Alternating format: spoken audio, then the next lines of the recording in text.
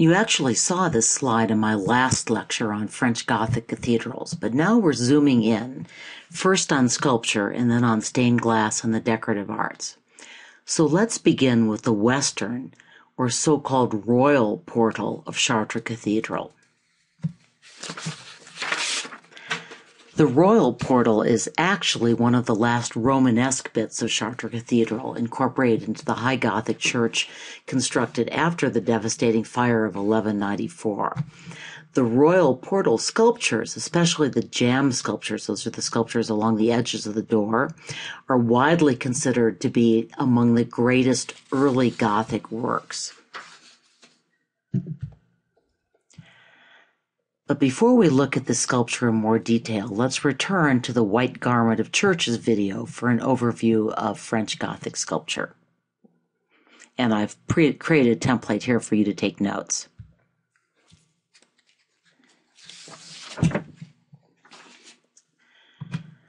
So returning now to the western or royal portal and these jamb statues of old uh, Testament kings. As the video notes, these figures are fully attached to their pillars, but they are not a substitute for the pillars. Note the comparison with the Greek caryatid, which actually did serve as a column. Yet while these royal portal figures are clearly attached, or to use the art history term, engaged to their column. They still stand out from the pillars with greater independence and higher relief than we saw in Romanesque sculpture. We are beginning to move toward genuine 3D sculpture, which we will see uh, come to real flowering in the Renaissance, which is our next unit. The jamb statue on the right from the Romanesque church at Moissac uh, that we studied in the last chapter offers a useful comparison between Romanesque sculpture and this early Gothic sculpture. What differences do you see? Well, most notably, St. Peter is flatter. It's in much lower relief. Uh, he's also more contorted more troubled looking, less majestic and comforting. The Romanesque era was not as confident or really religiously jubilant an age as the Gothic. Let's zoom in on the faces of these two figures. Uh, the one on the left from Chartres, the Gothic, uh, early Gothic sculpture, and on the right again, Romanesque of St. Peter from Moissac. What, what else do you notice about these two? Well, again, it's very clear here that the Chartres figure is much more three dimensional. He's also, I would say, somewhat less stylized, a little less linear. His face is more serene, as I noted before, while the Romanesque St. Peter appears more troubled.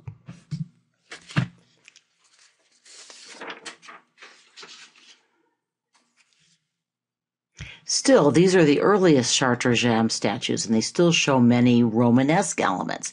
And yes, this is actually not an accidental repeat of the comparison of these two statues. So, what are some of the Romanesque elements that you see in the early Gothic uh, sculpture from the west or royal portal of Chartres Cathedral?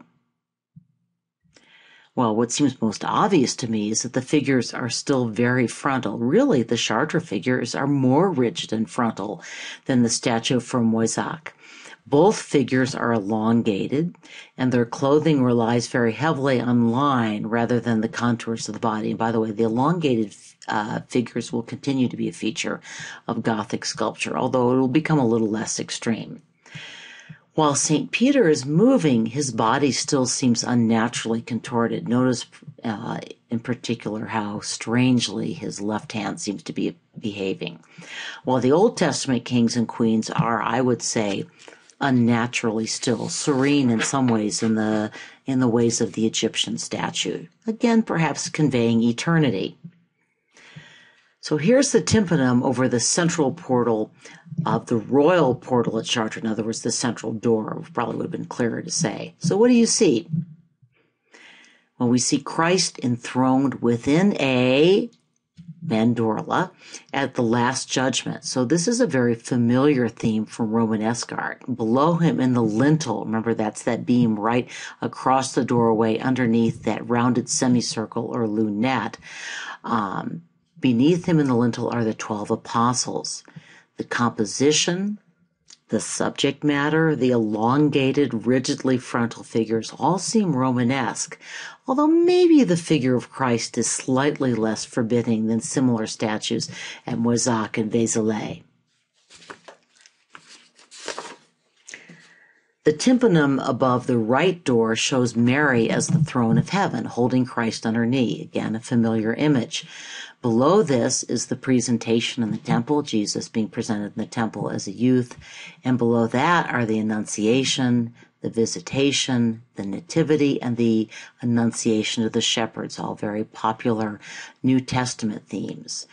Note again that Mary is a much more central figure in Gothic art uh, and part of the more approachable religion of the era. Even more important are signs of high medieval humanism in the lower right and left hand corners, which I think you'll probably have a hard time picking out. Any guesses about what these figures represent? While in the lower right corner are Pythagoras and Donatus, who was a Greek teacher of rhetoric who tutored St. Jerome, the great translator of the Bible into Latin. The figure in the lower left hand corner, intriguingly, is Aristotle, and we're going to look at that a little more closely here. So there's Aristotle on the lower left. The juxtaposition of Mary and Aristotle in the same sculpture really captures the spirit of Gothic humanism. Just to finish up this amazing royal portal, here's the tympanum above the left door. Christ is ascending to heaven accompanied by angels. Again, this could very easily be a Romanesque theme, Romanesque tympanum. Signs of the zodiac and the labors of the month, month march along the archivolt, uh, and 10 of the apostles are present in the lintel.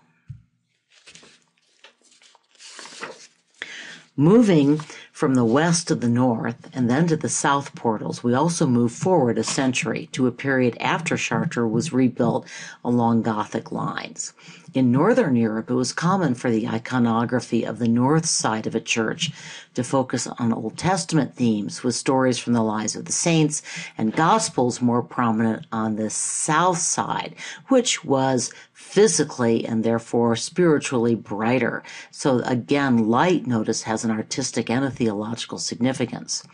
So here, and again, this is from the Old Testament or North Portal, we see from left to right as we face the statues. I know left and right can be a little confusing under these circumstances. We see Melchizedek, Abraham with Isaac, Samuel, and King David. So, what has and what hasn't changed as we move from the western and earlier portal to the later north portal? While the figures are still elongated, the bodies still rely very heavily on line. Uh, the drapery is very linear. We're not seeing a lot of body parts. Still, these Old Testament figures are more natural and more expressive.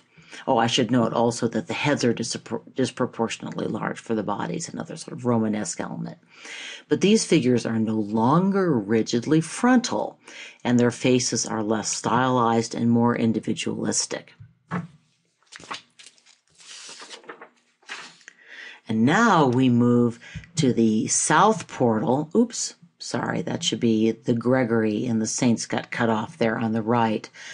Um, but here we see a real flowering of high Gothic sculpture. So, what changes do you note? Well, I think it's almost like the story of Pinocchio. Someone has breathed life into these statues. They not only come very close to being freestanding 3D sculpture, uh, the figures actually give the impression that they're communicating with each other. And we're going to see more of that as we move on. Uh, and here also on the south transept is a very famous sculpture, uh, Saint Theodore portrayed as a Christian knight. So notice we've lost the togas, we've lost the Greek drapery. Uh, Saint Theodore here is wearing the cloak and chainmail armor of the Gothic Crusaders. So he's basically in contemporary dress by these standards. The handsome young face is idealized, again, kind of like Greek statues. Think of those statues of the young athletes. But I would argue that it's more individualistic than, for example, the face of the spear bearer. In this depiction of Christ, we see a statue that's almost free of its architectural setting. We're getting very close to standalone three dimensional sculpture. Although, note that the architectural canopy over his head, in fact, represents, as did the cathedral, uh, the most modern, cutting edge Gothic style. But here again, we see not the youthful Good Shepherd of early Christian art, not Christ Pantocrator or world ruler of Byzantine art, not the fierce and solemn judge presiding over the Last Judgment, but the gentle, benevolent, approachable Christ of the humanist Middle uh, ages. And by the way, it's really important to pay attention to the way the depiction of Christ changes. And we're going to see still more changes as we move forward because the art of the Renaissance and the Baroque periods is still very much going to be religious art. We saw the first hints of conversation on the Chartres Porch of Confessors, but in this high Gothic rendering of the angel Gabriel announcing Jesus' birth to Mary, and Mary's visit to John the Baptist's mother Elizabeth, what we call the Annunciation and the Visitation, uh, full-fledged gossip seems to have broken out among the figures. They are really communicating with each other. They are interacting. So what other changes do you notice? Well, what really struck me is that the drapery here is much less linear, much more natural, much more like Greek statuary. And are those real knees and hips we see poking through? The classical influence on this sculpture is so obvious and so strong that art historians assume that the sculptor had seen actual Greek statues, or at least Roman copies of actual Greek statues. Uh, the elegant curvature, it's actually often described as an S curve of this statue reflects the court style of Louis IX. This is more mannered, perhaps, than naturalistic. Um, and by the way, St. Louis is the one with the spectacular stained glass uh, chapel. Remember the one where the glass makes up three quarters of the walls.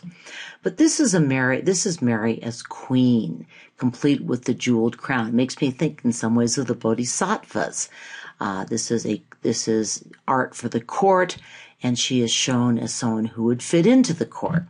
Uh, notice too how young and approachable she appears. This is again part of the veneration of Mary that is so important to religion in this period. So here's one of those uh, helpful summary slides that I begged, borrowed, and stole.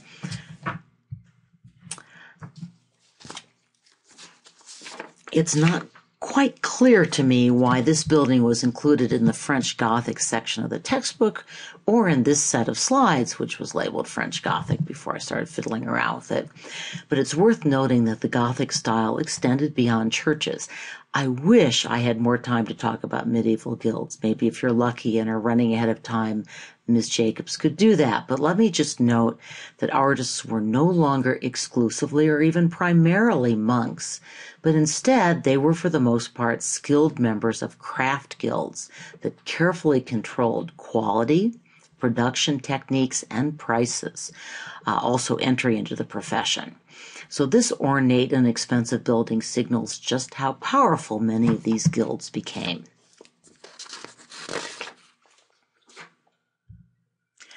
Uh, and here's the private home of a very wealthy Frenchman again. Just note the Gothic influences.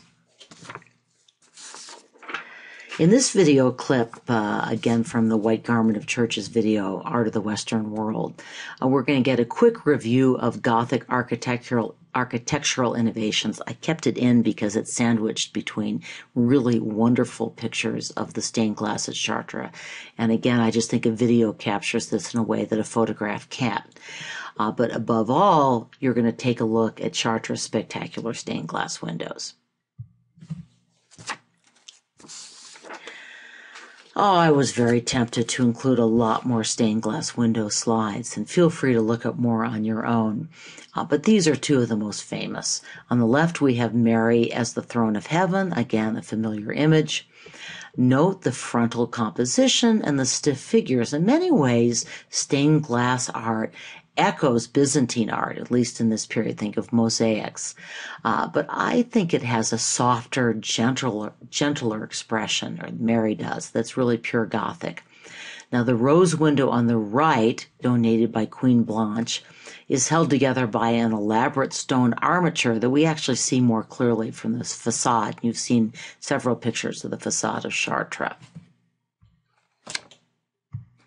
Oh, I hate to leave stained glass behind, uh, but you're less likely to get a question about Gothic il- illuminated manuscripts, not because there weren't many of them and not because they weren't beautifully rendered, but because there is so much other Gothic art uh, competing for the College Board examiner's attention that they're less likely. And if they're asking an illuminated manuscript question, it's actually more likely to be from the early medieval period, uh, and particularly from the Hiberno Saxon art. Nevertheless, uh, drawing and illumination was important in this period. Now, what's really interesting about this, this isn't an illuminated manuscript.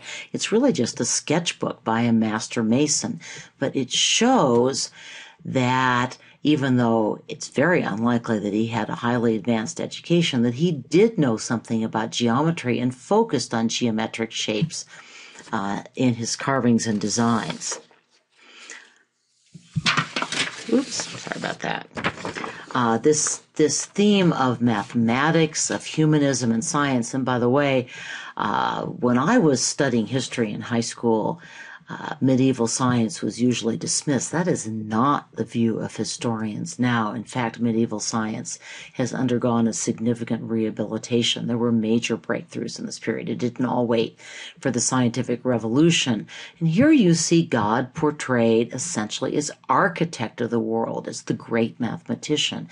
A theme, by the way, that we'll return to when we get to the 18th century Enlightenment the dedication page on the right uh, is interesting. I mean, obviously for its beauty and splendor, but also because it so clearly channels stained glass.